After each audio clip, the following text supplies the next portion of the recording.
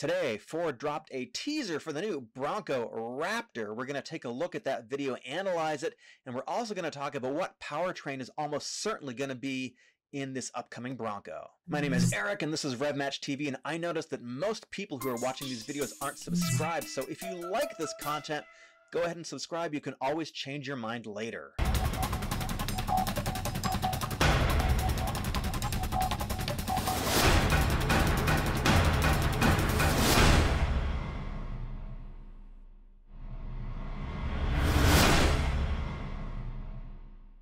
Let's take a look at this video and see what we can figure out from it. So the first thing that I'm looking at here is these headlights. These look like the pretty standard typical Bronco headlights, but obviously these are in yellow. I don't know if this is CG, if this is going to be some sort of option or standard as this uh, highlight piece is going to be in yellow, these uh, daytime running lights. But what's really, really interesting here, let's move a little bit forward, is I've seen some speculation as to what these three pieces are up here. So what the NTHSB, I think that the authority is regulating now is that trucks that are a certain width need to have these three lights up in the center of the grill. So you'll see this in the new Tundra, for example. You'll see this in new, bigger trucks. So these aren't special cameras, although they potentially could be, but I'm pretty sure these are LEDs that are going to be mandated by the US government. The next thing that we're seeing here is this super cool grill. This is a pretty classic type of grill that we've seen on the Ford F-150 Raptor. I'll throw that up on screen right now. So you can see the similarities. They're very close. Of course, we have the blacked out Ford logo. Looks very aggressive. And remember, I was one of the first people, in fact, probably the first person to report that this is going to be called the Warthog. Ford, that was from my internal source, Ford had been leaking incorrect information uh, intentionally, probably to suss out the sources, quite frankly, but also just as a red herring. So it's definitely not going to be called the Warthog, even though that would have been a super cool name. Let's take a look at what else we've got here. Another thing that we see, of course, is this very wide body molding here. We've seen this before on the Raptor teaser stuff that even Ford has released too. So we're not getting actual wider fenders. There was a lot of speculation about that. Looks like they are just going to be these plastic pieces. Uh, and you should be able to sort of replicate this look if you want to be on the cheap with your personal version of the Raptor, your customized version, by simply going to the aftermarket. I'm sure somebody is going to make something like this available. Now this color is likely going to be unique. I'm going to talk about what this color is in just a second.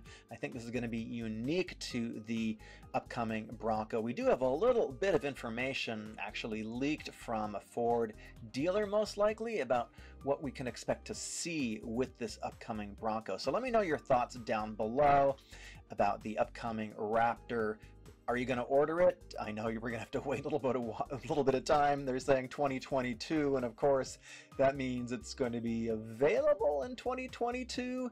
I don't know that you'll actually be able to get your hands on one in 2022 because they've got a huge amount of back orders. In fact, Ford has recently uh, put the ordering process on hold. You can't actually reserve one online right now. Go talk to your dealer though if you want to put in a reservation, and if you want one, you probably should just go put in a reservation because it's going to take a little bit of time and you're going to have to wait. So this is over at the Drive, and they are reporting on uh, what we might expect to see with this upcoming Raptor.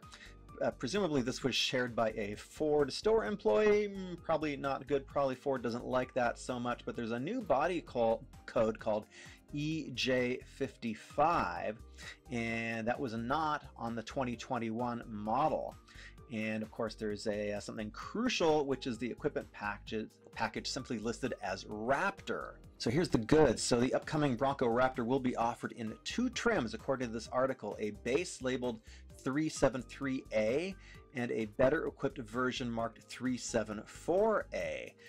So with the 374A, apparently we are going to get a 10 speaker audio system, voice activated navigation, adaptive cruise control, heated steering wheel, wireless charging, and other amenities you would expect in the Lux package. So it looks like we're going to have probably two trim levels available for the Bronco Raptor. But then here's a little bit farther down in the thread. The poster also says the Raptor will be available exclusively as a four door and the only Bronco variant to offer code orange as a paint color. So I think that color we were just looking at back over here, which is a really good color. I, I'm a big orange fan, by the way. I have an orange BMW, very similar to that. I think this is code orange. I think that's what the color is. If I were gonna get this Raptor, this is the color I would get.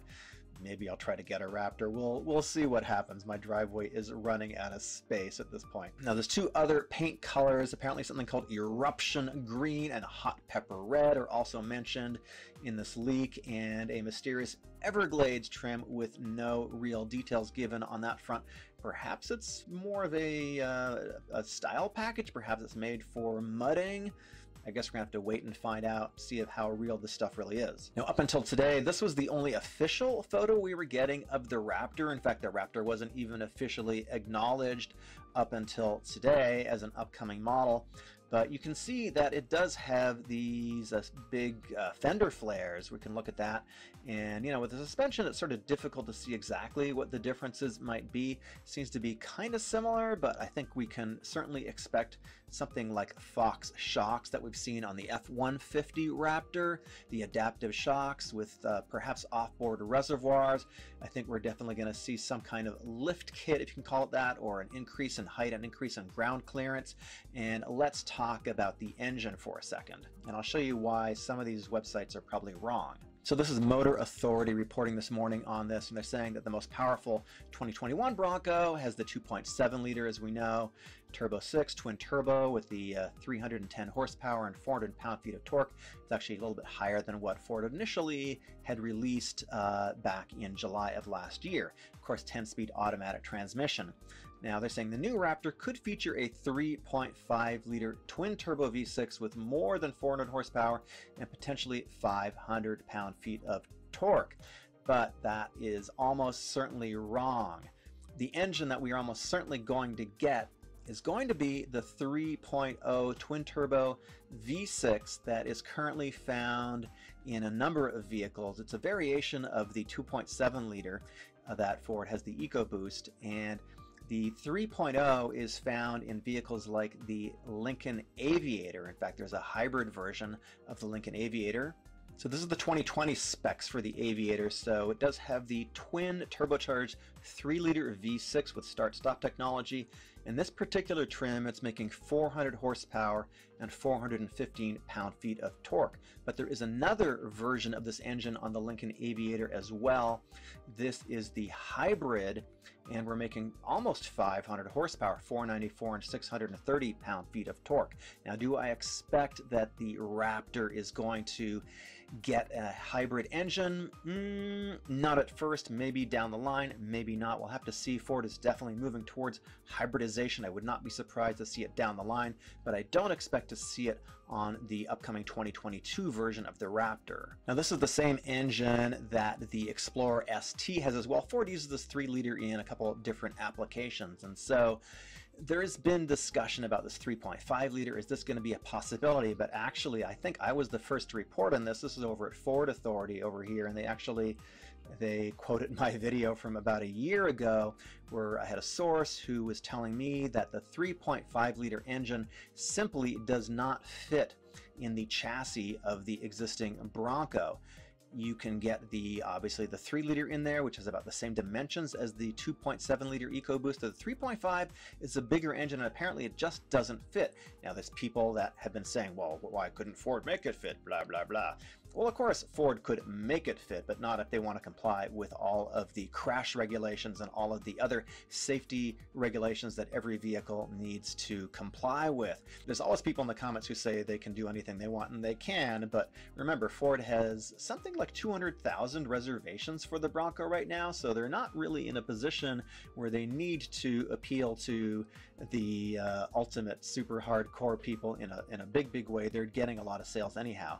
Uh, let's take a look over again at Ford Authority. Okay, this time not quoting me, but this is uh, a much more recent article. This is from May 8th of 2021, and they're saying that the next generation Ford Raptor is going to get the 3 liter EcoBoost exclusive. So they have a four source also, and they're saying it's going to get the 3 liter EcoBoost. So I think this is very, very likely to happen The V8 is probably not going to happen in the Bronco. It, again, it's probably not going to fit. I didn't confirm that, but looks like we're going to get the 3 liter. And I mean, this is not a, a bad engine at all here. What kind of power levels are we going to see? Probably more than the numbers that I just quoted you from the Aviator and also the Explorer ST. I think for a Raptor variant, my guess this is just a guess, just pure speculation here. We might be looking at something north of 400 horsepower and somewhere in the 400 pound-feet range, above the 400 pound-feet range for torque. And almost certainly we're going to get the 10-speed automatic transmission. I do not see a manual variation happening with this. We certainly haven't got it in a long time with a number of Ford vehicles like the F-150, Raptor. Uh, you, you can't get a manual on that anymore. It's been a long time since you can get manuals in a lot of vehicles, so expect the 10 speed. I do have a Bronco coming to me in the next couple of weeks. It is going to be the two-door Outer Banks. I'm going to get that in October. Let me know if there's something specific that you want to see tested about this vehicle. I know there's some videos that are already up. I've actually driven the two-door Bronco. I only was able to drive it for about 30 minutes or so. I drove it on road. This is the Bronco Sport Badlands in Cyber Orange. It's the two-door edition. In person, it looks really, really good. It's really chunky. Somebody just stopped by to, to take a look at this. They're very interested in it. Their impression was pretty favorable too. So uh, this has the vinyl uh, leather seat trim option. And this has got the 2.7 liter with the 10 speed automatic transmission. And it's got a huge center screen. I like it. It's very cool. It drives very well. Uh, the ride quality is excellent in this. It definitely rides better than some of the competition and I dig it. So I think I'm gonna try to get one of these for a week and do a full review. Let me know what you guys think. Now, Ford isn't always completely serious. There's a series that is on Hulu, not a series, but a movie that's on Hulu with the Ford spokesperson, John Bronco, and he's back. There's a quick video. I'll show that to you now. Some said I was done. No sparks in my plug. Yeah! No giddy yeah! in my up. Bronco! No jitter in my bugs. And yet, here I stand. The fire still burning, an old man still learning. Buckle up, niños, for this pitch man's returning. Ah! Hey, Damn, I forgot what I was to say. This is played by Walton Goggins. He's absolutely hilarious. I haven't seen the entire thing yet, but this is called John Bronco Rides Again. There was a previous full length, uh, whatever, 90 minutes, something like that. If you want to check it out, you should go over to hulu.com and watch it yourself. I'm in no way affiliated with Hulu or doing any kind of advertising for them. Now, if you're the kind of person that likes to work on your own car as I do, you should go and check out Lexivon torque wrenches. I recently got this. This is not a sponsored video, by the way, but I do get some affiliate revenue from Amazon. And these are really great torque wrenches for the money. I've got, um, I like the quality of them. I've been using them quite frequently just to change my wheels. I've got some videos on how to use a torque wrench. I know it's very basic, but people don't exactly know how to do that. So go check that out down below. And if you're interested, check these out on Amazon. Link in the description. Automotive News is reporting that the Aviator is going to go EV with Lincoln's electric push. So we're going to see some more powertrain options. We already talked about the Aviator with the two engines that we have right now but uh, they're saying after appearing to fall behind most of its competitors in the push towards electrification, Lincoln has a plan to add some form of battery power to its entire lineup by the end of the decade. You've probably heard this. Ford has pledged that they are going to go 40% EVs in 10 years, 9 years really now, by 2030. So Lincoln is going to be part of that. Ford executives apparently have said that they are going to reveal the brand's first battery electric vehicle sometime in 2022. So I think it's going to be the Aviator. In fact, they are saying it's going to be the Aviator and it's going to be uh, on sale in 2023. Now, obviously, you're here because you're into the Ford news. I just did a great video on the Mustang Mach 1. I had it for a week, did a review on it. Fantastic vehicle. Go check it out. My name is Eric. Please subscribe. See you in the next video.